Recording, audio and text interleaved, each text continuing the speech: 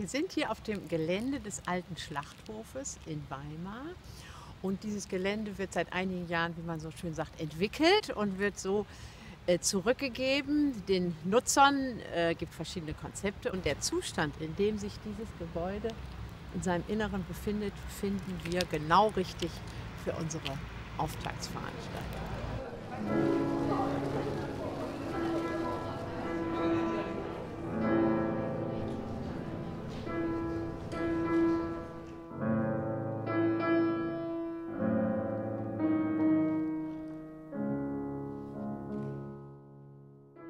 Wir sagen, Dante, Hölle, Inferno, darum soll es gehen, dann können wir uns das nicht gut vorstellen auf gepolsterten Sesseln in einem Kino oder in einer ganz normalen Konzerthalle, sondern es ist genau das, was wir sehr spannend finden. Wir steigen hinab mit unserem, unseren Künstlern und unserem Publikum.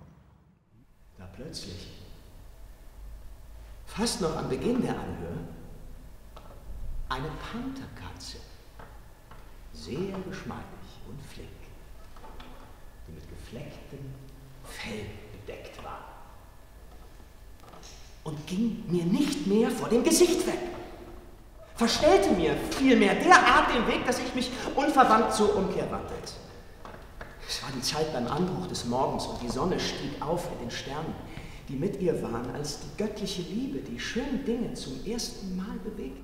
Wir gehen hier in die Hölle hinab mit dem 19. Jahrhundert. Wir haben als Kommentar Franz Liszt und so wie auf unserem Programmheft am Anfang äh, zu sehen ist Doré äh, aus, dem, aus den letzten Gesängen, diese Abbildung, wie Dante ins Licht geht mit Beatrice, so geht am Anfang Dante mit Vergil hinab und darum steht dort auch dieses Blatt von Doré, den ja Liszt auch gekannt hat, wie Vergil und er hinabsteigen. So, das ist der erste Block.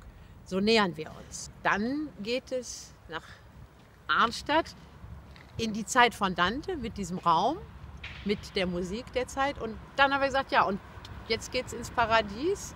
Wie machen wir das? Wie ist das für Paradies? Das ist für uns alle Futur und haben eben wirklich diese, kann man sagen, diese große Freude, aber auch Anstrengung, dass eine Komponistin ein Werk, was in Teilen schon vorhanden war, für uns zu Ende geschrieben hat und das wird am Sonnabend im Erfurter Hohen Chor uraufgeführt.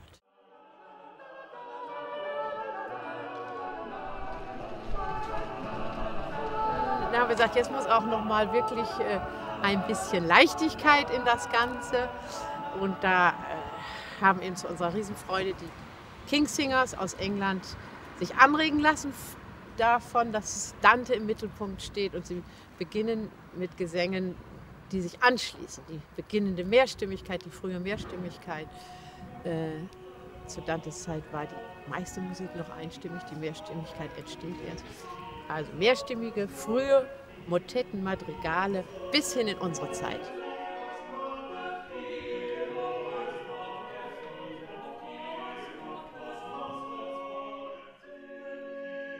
Wir versuchen unser Publikum äh, mitzunehmen und ihnen etwas zuzumuten. Und das ist für mich auch der Festspielgedanke, dass sie sagen, Festspiele sind dazu da, dass man eine Sache vertieft.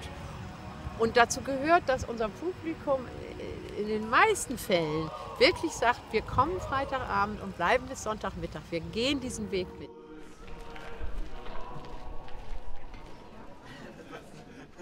Gehen einfach mit auf den Weg und genießen auch natürlich die Nähe dass alles nicht so riesig ist, kein großes Festspielhaus wie in Salzburg, sondern alles ist klar und äh, klein und intim.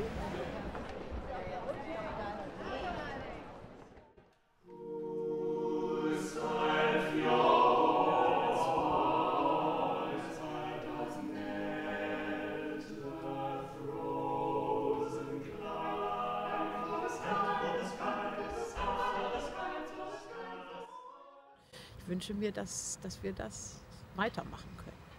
Dass die Möglichkeiten weiter da sind, die Menschen weiter strömen und sagen, auch das ist wichtig.